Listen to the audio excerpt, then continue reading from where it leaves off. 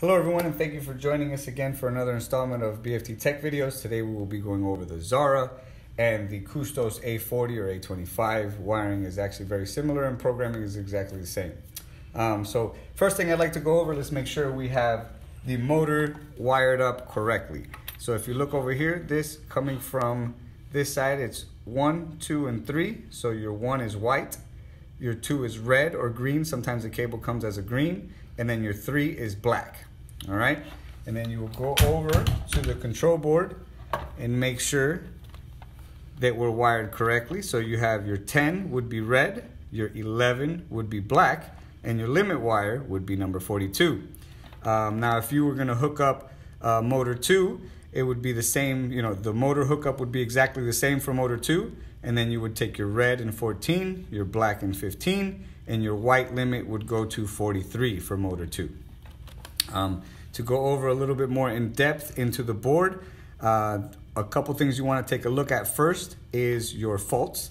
So you want to make sure that your fault lights are all on as far as your stop light needs to be on, your photo, your photo light needs to be on, and of course your bar light.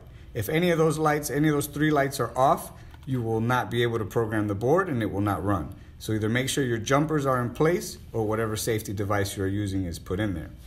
Um, also, these lights on this side, this is your limit switch lights. You'll notice there's four of them and only one is lit right now. I'm gonna go over that a little bit. So the two lights to the left are motor one and the two lights to the right are motor two.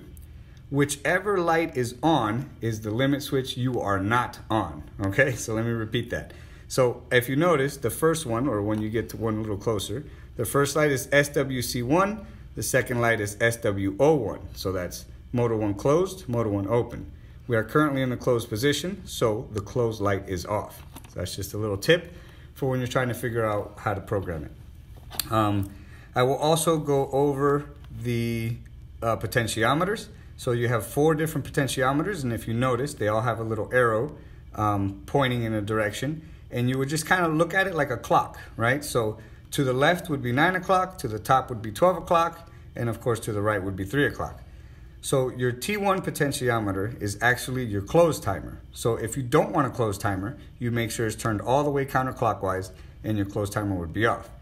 Um, if you want it on, of course it can go, if you turn it all the way clockwise, it will be about 120 seconds. So, you know, more or less you move it to where you want according to the seconds you'd want to use potentiometer number two. This is your force potentiometer.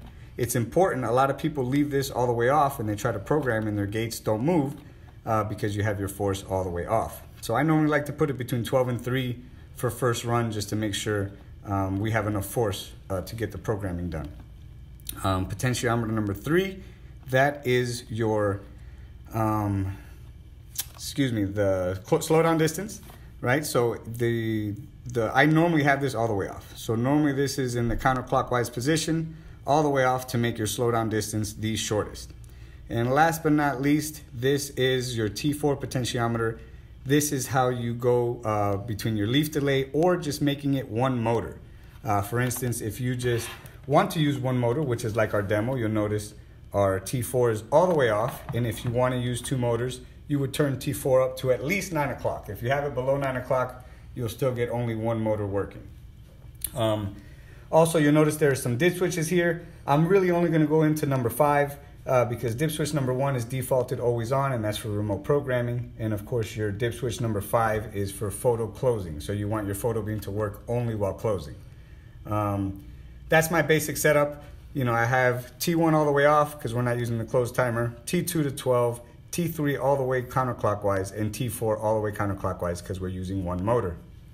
Um, of course, you want to make sure that your limit switches are done correctly. So this part, you would actually just, it's a Phillips head screwdriver, uh, Phillips head screw.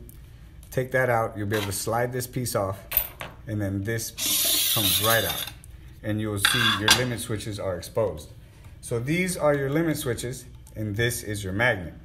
Before you get started, either make sure that your limit is lined up or your magnet is lined up with one of the limits or in between the limits. Sometimes when they're packaging, the magnet is a little further and you try to move and it doesn't actually do its thing. So it'll kind of get stuck back here or, you know, inside this area. So you want to make sure your magnet's in the middle before you start programming, and you should be good to go.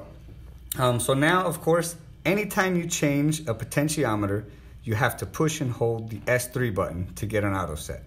Anytime you change a dip switch, you have to push and hold the S2 button. Now this is a new setup, so we're gonna have to push and hold the S3 button to save any of the settings that we've made and also to get our motor programmed. So we'll push and hold the S3 button. Get it flashing. And now it should start running. I'll take this time now to grab my remote so I can program my remote to the board, which would be your S1 button as soon as this is done.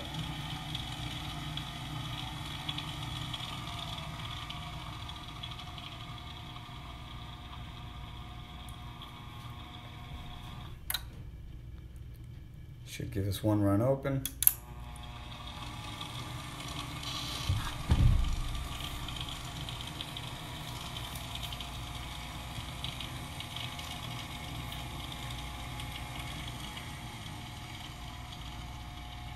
Slow down and then stops on the limit. All right, we should be good to go. All right, so now the next step would be to program our remotes. All right, and that is actually a quick little spot. You know, your S1 button is the one on top. All right, and a, you know a fast. You have to make sure you get the hidden button. You notice you push both buttons. There's a delay, right? So you click S1, you get a flashing green light. Squeeze both buttons. You'll see the green light turn solid. You release, and then quickly tap the button you want to use, and you'll get a, a fast flash over, and then it should time out. And of course, good to go. Thank you so much for joining us. If you have any questions, let us know.